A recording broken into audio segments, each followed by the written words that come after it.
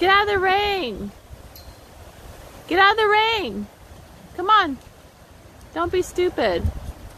Come on, babies. Go in your stall. My God. Don't have enough sense to get out of the rain. Anyhow, look at the wind. The wind knocked over the jacaranda tree.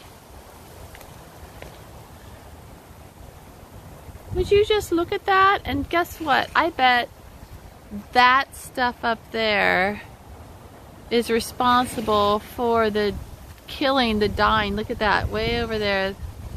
That used to be a jacaranda tree right there too. So the EMFs are killing the trees off. Killing them. And now with the rain, geoengineered rain, the oceanic rain stream, plus the wind,